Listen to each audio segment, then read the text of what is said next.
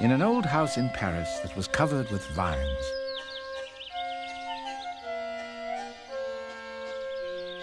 lived 12 little girls in two straight lines. They left the house at half past nine in two straight lines.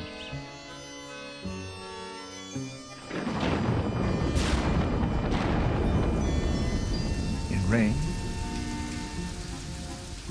or shine. These, onze, douze.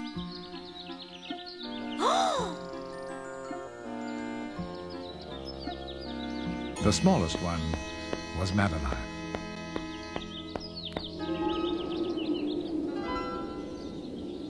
On a windy day in early fall, Miss Clavel said, Let us not go outside at all.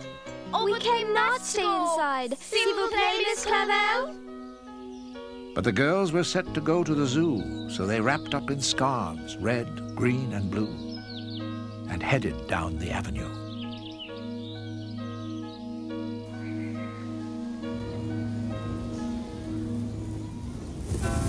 Wind was blowing everywhere. It blew them to the polar bear.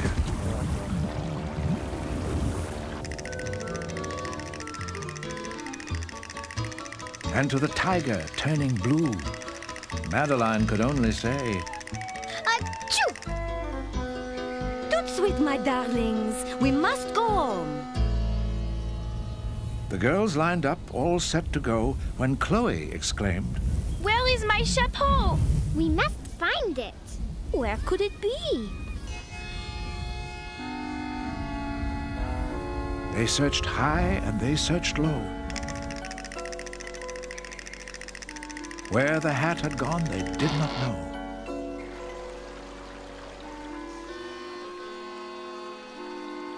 We must count it lost. I am sorry, Chloe. Now, allons-y.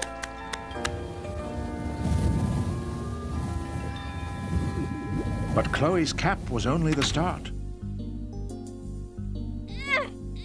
More and more things began to depart. My shoes! Where have they gone?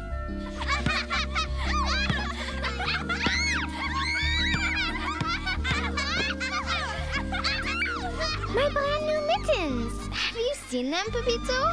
Your very handsome red ones?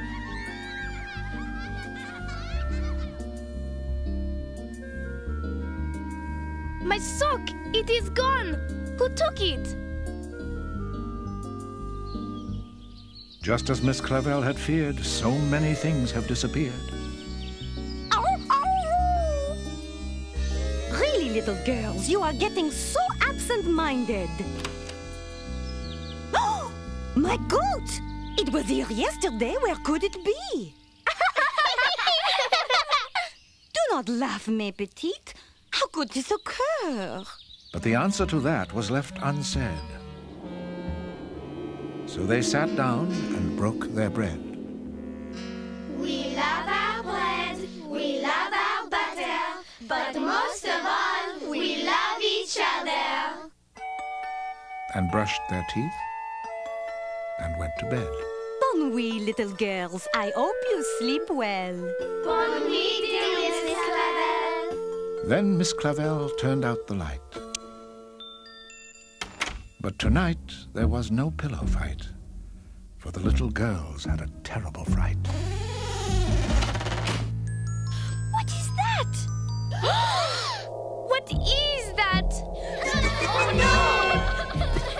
is only Madeline. It is one of her tricks.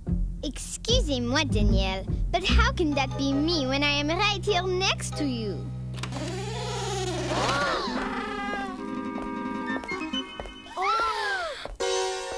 it is Miss Clavel. Little girls, I heard a strange, strange noise. We want to see. What can it be? Shh, shh, shh. There it is again, mes petites. It is coming from the attic. We must go and see.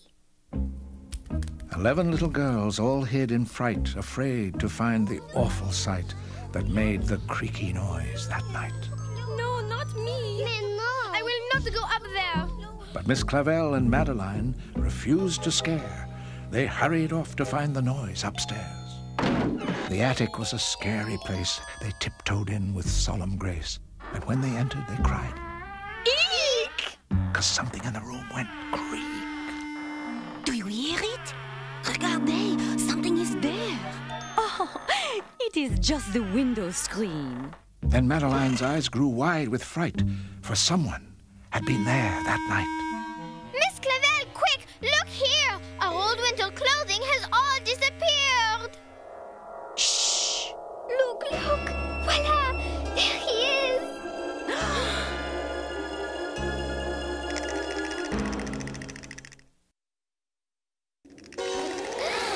Miss Clavel held Madeline very tight as the robber slipped away that night.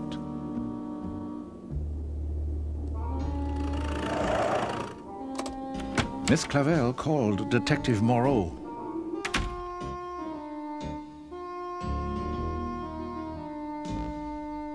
He searched the house both high and low. But in the end, he had to leave without a clue about the thief. No one in the house slept well, not the girls, the dog, or Miss Clavel. The next morning, as they were awaking, the little girls were still a-shaking. Mes amis, do not stand there quaking. We must catch the thief. But Madeline, what can we do? Mais oui! We are only small girls. He is a very big thief. I will catch Monsieur Thief. But how? I know exactly what to do. I will follow every clue. He stole my hat, he stole my glove. He stole my coat, the one I love. Look out, my friends, he's back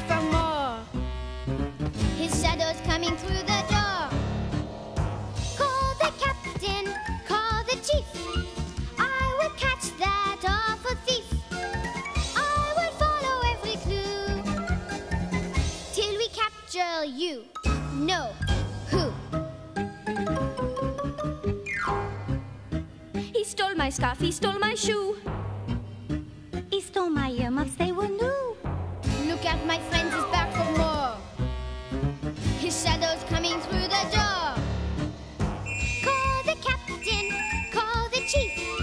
I will catch that awful thief. I will follow every clue till we capture you. No,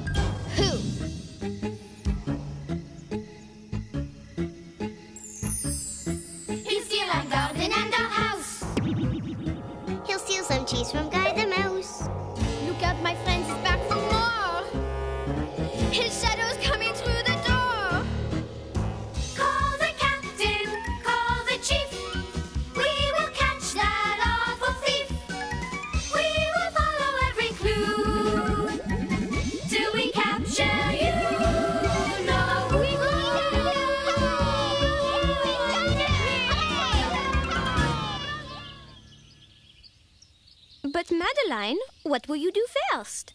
Hmm, Pepito admired my missing mittens. I wonder.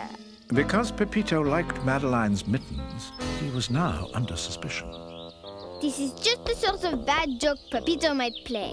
It's Madeline. Oui, That's yes. right. Bonjour. May I speak with Pepito, s'il vous plaît? But Madeline was in for a surprise when she saw the strange hat Pepito had devised. I do not believe my eyes. What is that thing on your head? I missed the bad hat. Someone has taken it. Oh no! Someone has taken the bad hat? This thief has no taste. Not just the bad hats. We have lost coats and mittens and scarves and boots. have you been losing things too? Excusez-moi, Pepito. I hate to admit it, but I suspected you. There wasn't any time to waste to catch the thief with the bad taste. Do you care to join us, Pepito? Claro! Of course I do! And so began their investigation, starting with a neighborhood interrogation. Madeline asked, Have you lost anything at all? Anything that is large or small? then she replied, My glove, my shawl. Bonjour, monsieur!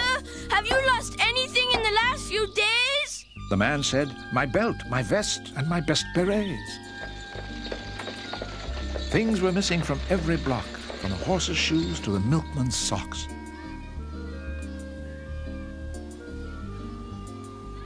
Madeline thought and thought about the thief. She had been wrong hmm. in her belief. Madeline, what is wrong? Oh, Pepito, I have made a terrible mistake. Now I know what really happened. Huh?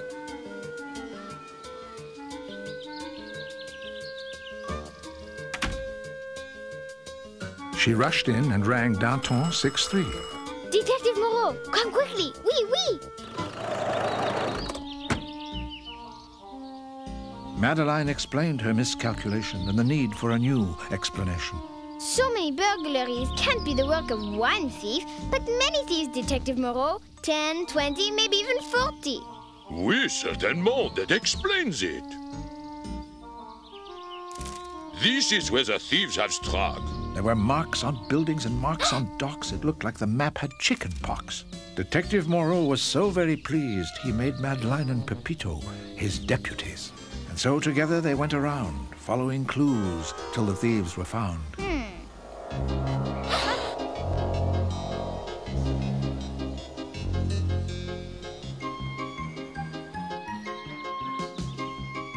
They talked to people all over the city, from the Eiffel Tower to streets less pretty.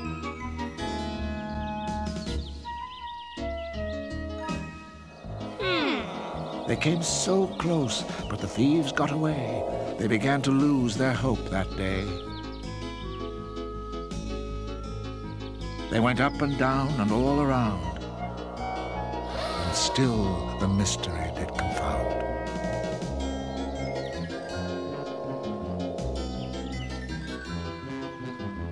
These terrible thieves must be run aground. They walked all day till it was dark, and then they reached a little park. Let us sit down and think what to do. This is dreadful. We have run out of clues. With no clues left, what could they do? Their search for robbers was, alas, all through. But when things had reached their very worst, Madeline was the one who saw it first. Pepito, Detective Moreau, look! I cannot believe what I see. It is the bad hat. To which Pepito replied, It is true, there is no other. Oh, Detective Moreau, this is splendid. Oh, oh oui, oui. Perhaps at last we will catch one of the thieves.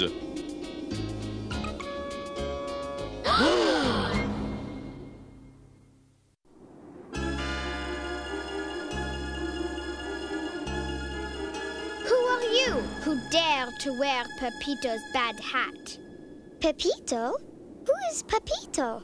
to which Pepito replied, I am Pepito, you bad bandito. Your life as a thief is now finito. But I am not a thief. Then why are you wearing his bad hat? This is his bad hat? I will gladly give it back. Voila! Who are you? Where do you live? My home? This pelk? This bench? This limb? Wherever I happen to be right now. Where did you get the bad hat? On the hat tree, of course, where I will find Enezel. Wait, wait, come back! We must follow her. Though the girl was very little, she was faster than a fiddle. It was late and getting dark as they followed the girl deep into the park. They were just about to end their spree when they came upon a great big tree. Regarde, Pepito, regarde! On one branch were coats and mittens, scarves and tights and other knittens. There were capes and gloves and sweaters. Some were old and some much better. Look, so many clothes! This hat. This is a good hat.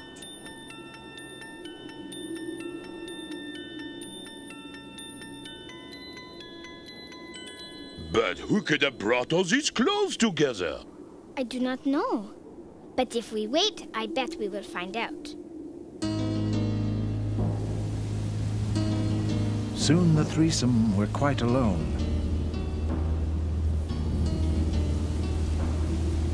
The autumn wind began to moan.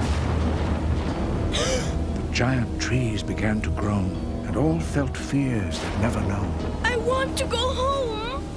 there is nothing to fear, my boy. Just a little lightning. Of course we cannot leave, Pepito. Not until we've caught the 40 thieves. The night grew long, the night grew frightening. There was rain and hail and so much lightning. But all of it could not compare to what came flying through the air. Pepito! Detective Moreau! Look up there! That is it. I'm off to bed. We must run away while we can. Let me go, por favor. Wait, Pepito! Listen! Pepito listened, then let out a cry. It is a bird, the sly magpie.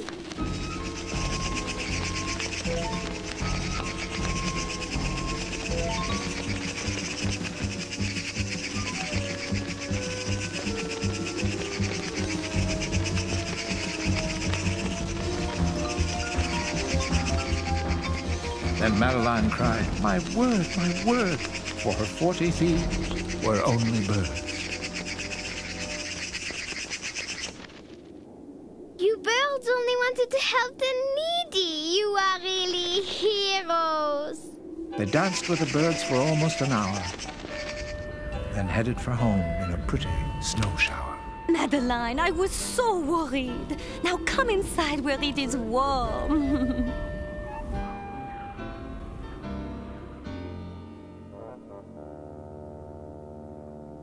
Clavel, there was no need for worry.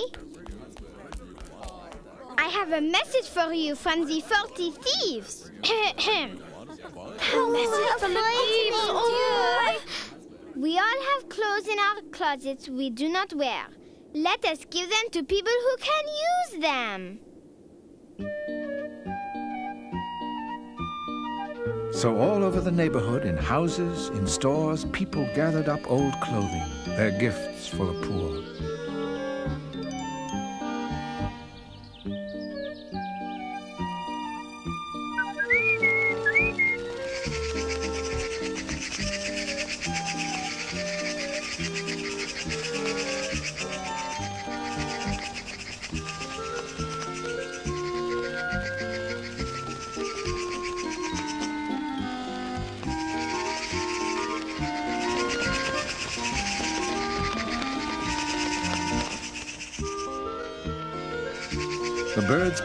Clothing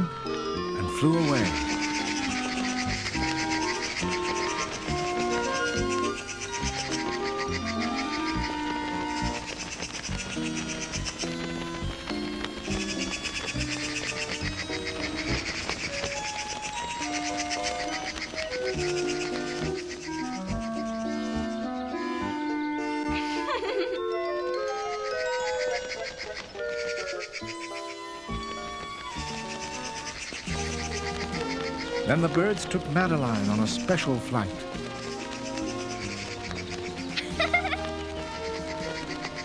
They climbed and soared to incredible heights, and Madeline saw the most wonderful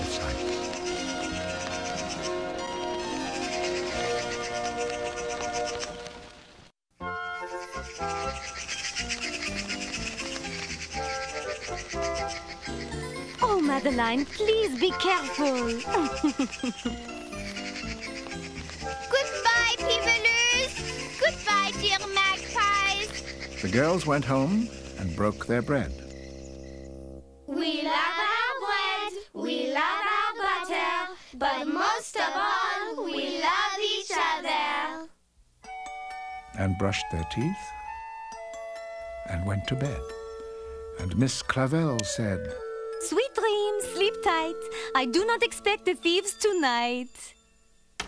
Now we can have a pillow fight!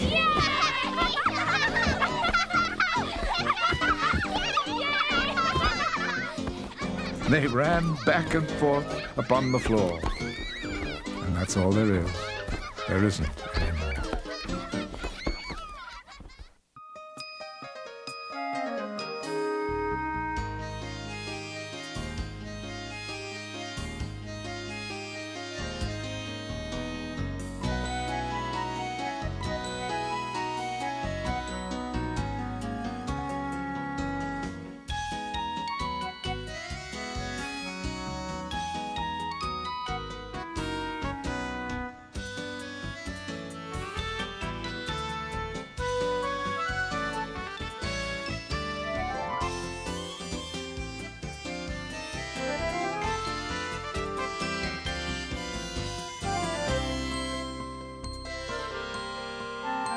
to go. Au revoir, or you may shout